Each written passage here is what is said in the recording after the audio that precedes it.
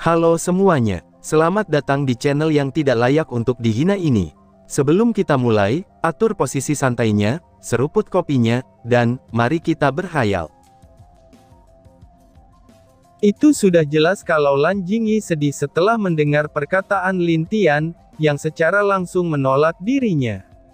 Lin Tian berbalik dan menatap wanita yang kelihatan sangat sedih, dan juga gemetaran saat menatap dirinya. Aku memiliki rencana lain untukmu, tapi rencanaku itu akan membuatmu sibuk. Apakah kamu mau? Tanya Lin Tian. Tentu saja itu tidak masalah, meski aku akan sesibuk apa pun, balas Lan Jingyi dengan penuh harapan.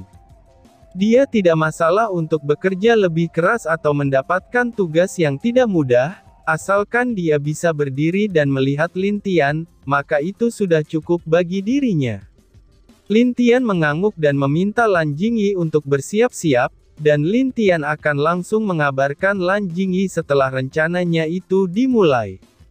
Dengan penuh harapan, Lan Jingyi mengangguk dan juga berbalik ke kamarnya sendiri. Pada hari itu Lin Tian sangatlah lelah, karena dia harus menyembuhkan banyak wanita yang terluka parah.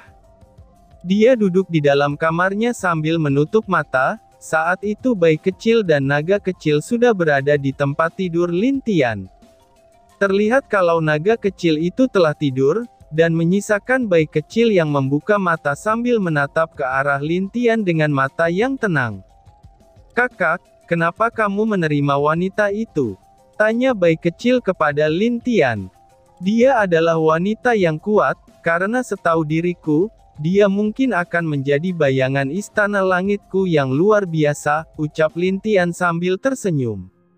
Lin Tian tahu wajah si wanita itu terlihat penuh luka, jadi orang lain tidak berpikir kalau dia adalah wanita yang cantik.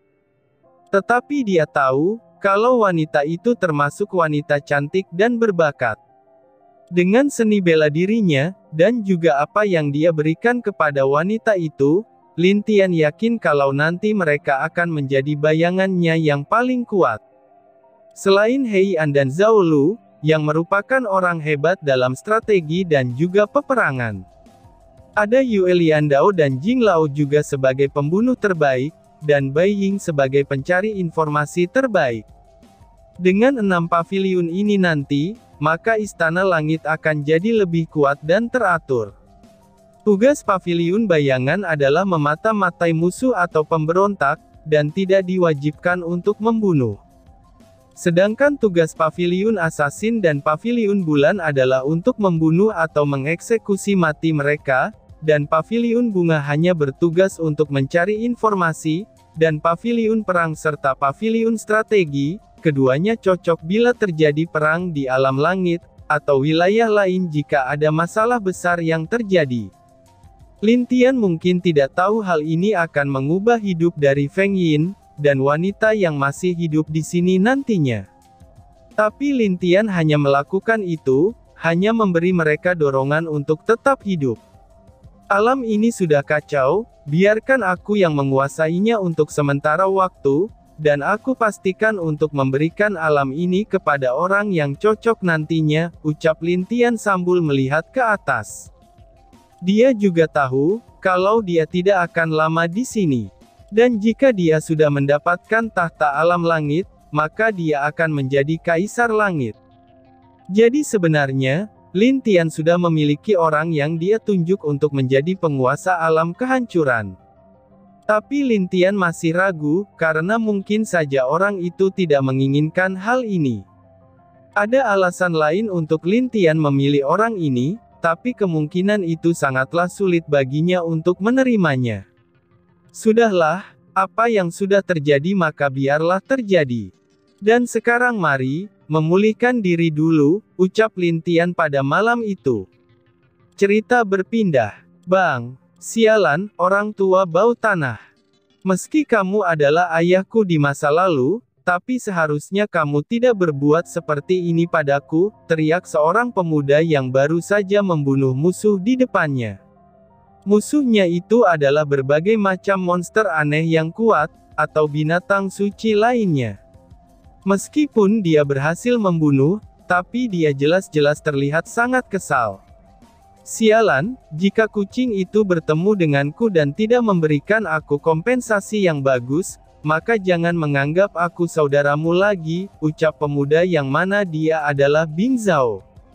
Dia sudah berada di tempat itu, sejak dia dilemparkan oleh Dewa Tombak ke dalamnya.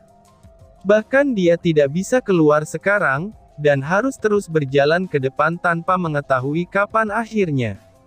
Tapi bila dirasakan sedikit lebih dekat, setiap Bing Zhao membunuh musuhnya, itu akan ada suatu energi yang masuk ke dalam tubuh dan memperkuat daging serta meridiannya di dalam tubuhnya itu. Bang! Bertarung! Teriak Bing Zhao. Cerita berpindah. Bang! Hufha, berapa banyak lagi aku harus memanah ini? Aku sangat ingin mabok, ucap Sukun. Dia terlihat agak berantakan, karena dua masih terus bertarung juga dengan musuhnya yang ada di dalam pohon elf itu. Sialan, jika aku keluar nanti, wanita itu harus aku hukum, ucap Sukun dengan agak kesal. Tapi sebenarnya, dia juga memiliki perasaan terhadap wanita yang selama ini merawatnya itu. Dan dia juga tahu bagaimana sikap wanita itu terhadap orang lain. Hufha, kucing sialan itu, akan aku bakar nanti jika aku tidak mendapatkan kompensasi yang bagus. Ucap Sukun. Bang, pertarungan lain pun berlangsung di tempat Sukun, dan dia terus menyerang dengan panahnya ke arah semua musuh musnya itu. Haciu, apa yang terjadi? Fikir bayi kecil yang bersin tiba-tiba. Hem, apakah tiga saudaraku baik-baik saja ya? Fikir bayi kecil yang membuka matanya. Lalu dia melihat naga kecil yang tidur, dan Lintian yang sedang memulihkan dirinya. Dia hanya diam saja, dan memandang ke atas langit di kamar itu dengan wajah agak sedih, lalu ada senyum lagi di wajahnya itu. Kalian pasti baik-baik saja, hehehe, nanti kalian mungkin akan berterima kasih kepadaku, karena aku telah memberikan warisan yang bagus kepada kalian, ucap bayi kecil dengan bangga. Tapi dia tidak tahu saja, kalau dua dari saudaranya sebenarnya sangat ingin membakar bayi kecil, itu karena apa yang belum dia jelaskan kepada mereka. Pada siang harinya, Lintian dipanggil oleh Lan Jingyi untuk ikut ke dalam aula, karena beberapa pemimpin dari empat keluarga ingin bertemu dengan Lintian, itu atas perintah dari leluhur mereka. Lintian mengangguk, dan ikut ke dalam aula di mana semua pemimpin keluarga itu berada. Sesampainya di sana, dia merasakan beberapa tatapan yang mengarah kepada dirinya.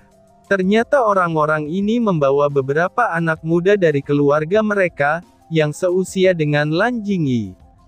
Itu sudah jelas, Lin Tian sudah mengerti dari cara beberapa tatapan para pemuda itu kepada dirinya. Dia sangat ingin melihat lebih jauh lagi, betapa kuatnya generasi muda alam kehancuran ini. Dengan itu, dia menggenggam tangan Lan Jingyi, dan berjalan ke arah kursi yang paling tinggi di aula itu.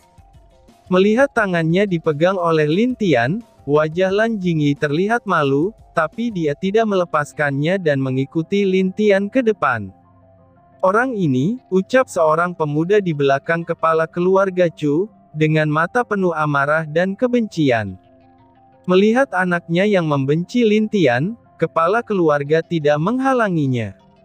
Itu juga karena leluhur hanya meminta mereka datang ke sini, untuk menghormati dan juga melaksanakan semua perintah Lintian. Yang lainnya tentu saja untuk mengatur rencananya atas pertemuan yang akan datang dalam empat hari lagi, dan karena itu jugalah mereka semua berkumpul di sana. Berbeda dengan Lan dan serta istrinya yang sudah tahu kenapa leluhur sangat menghormati Lintian, mereka sangat senang melihat Lan Jingyi berjalan dengan Lintian. Meski tiga kepala keluarga lain merasa aneh dengan sikap Lan dan, tapi mereka hanya berpikir kalau keluarga Lan telah memberikan semua hak kepemimpinan mereka kepada Lintian. Setelah Lintian duduk, Lan Jingyi berdiri di belakang Lintian dengan wajah tenang, dan satu kucing yang tidur di kepala Lintian. Tentu saja itu adalah bayi kecil. Sedangkan si naga kecil, dia telah pergi untuk melihat para korban wanita yang masih hidup. Dia juga diperintahkan oleh bayi kecil untuk membantu pemulihan mereka, serta menanyakan apa rencana para wanita itu nantinya. Jadi, kenapa kalian berkumpul sekarang? Tanya Lintian dengan tenang. Mendengar suara tenang dan juga sikap santai Lintian itu, ada rasa tidak suka di antara lima anak kepala keluarga tersebut. Padahal orang tua dan para tetua tinggi mereka datang ke sini, itu untuk membahas sesuatu yang sangat penting. Heh, jangan sombong kamu. Apakah kamu tidak tahu dengan siapa kamu berbicara? Ucap pemuda dari keluarga Yan. Melihat anaknya yang berani itu, tentu saja kepala keluarga Yan hanya diam dan tersenyum saja.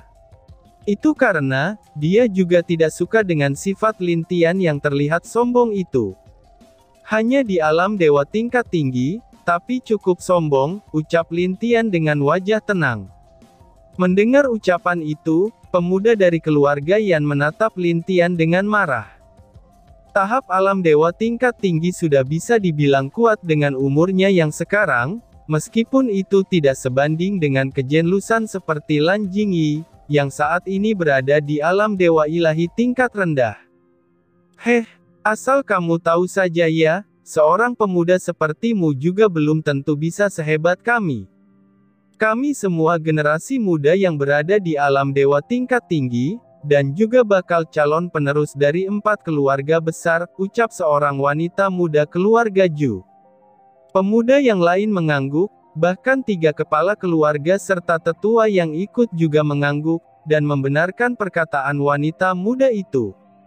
Lalu Landan, istrinya, dan juga beberapa tetuanya, mereka hanya bisa menggelengkan kepala mereka ketika melihat tingkah tiga keluarga besar ini. Apakah leluhur mereka tidak memberitahukannya kalau pemuda di depan mereka ini bahkan lebih kuat dari dewa kehancuran sekarang? Pikir Landan dengan wajah yang penuh dengan rasa penasaran. Tapi saat dia akan mengatakan sesuatu kepada mereka, dia dihalangi oleh suara lintian, dan itu membuat dia hanya bisa duduk diam sambil memandang nasib malang, ke arah lima generasi penerus tiga keluarga itu. Oh, katakan padaku, jika dibandingkan dengan alam bulan siapa yang lebih kuat generasi mudanya? Eh, salah, maksudku kekuatan alam di antara kalian. Tanya Lintian dengan tenang. Mendengar pertanyaan itu, ketiga kepala keluarga hanya bisa terdiam. Alam bulan, itu adalah salah satu dari alam yang memiliki dewa penguasa, dan bahkan termasuk ke dalam alam yang terkuat dari yang lainnya. Mana mungkin mereka bisa dibandingkan dengan alam itu?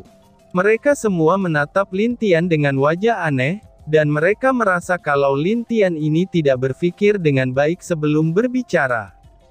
Kenapa? Apakah kalian berpikir kalau aku tidak memiliki pikiran yang baik? Kalian sendiri yang berpikir diri kalian itu lebih lemah dari alam bulan. Maka dari itu, kalian hanya bisa dengan patuh melihat semua hal yang terjadi di alam kehancuran ini dengan sebelah mata, ucap Lintian dengan suara yang agak tinggi. Mendengar lerkataan itu, wajah para pemimpin menjadi memerah. Mereka jelas-jelas mengerti apa maksud dari Lintian ini, tapi bukan karena mereka menutupi semua hal itu dan tidak peduli dengan apa yang terjadi. Itu karena mereka tidak tahu seberapa kuat musuh mereka, dan juga mereka kesulitan dalam mencari informasi tentang rencana keluarga kerajaan. Kalau bukan karena beberapa bocoran yang didapat leluhur tentang penyusup di keluarga mereka, mana mungkin mereka bisa mengetahui beberapa hal tentang rencana keluarga San itu. Dan mereka juga masih belum tahu siapa orang yang melakukan hal-hal di ibu kota sampai sekarang. Namun jika mereka tahu, maka mereka berencana untuk bekerja sama dengan orang tersebut. Tetapi hal yang tidak mereka ketahui adalah, orang yang melakukan dan memberi mereka informasi itu adalah orang yang sama, dan orang yang memulai skenario itu tepat berada di depan mereka sendiri. Tapi karena mereka tidak percaya dengan Lintian yang sangat muda, karena itulah otak mereka tidak mau mempercayainya. Lintian juga memandang mereka dengan tatapan agak marah, dan sudah jelas kalau ketiga leluhur itu sengaja tidak memberi tahu mereka. Karena leluhur mereka berpikir, untuk bisa menghilangkan kesombongan kepala keluarga dan juga generasi muda mereka, maka cara itu harus dia lakukan. Apakah aku ini cocok untuk jadi contoh? Fikir Lintian dalam hatinya. Lalu apa? Jadi kamu berpikir kamu bisa melakukan sesuatu untuk melawan keluarga kerajaan itu.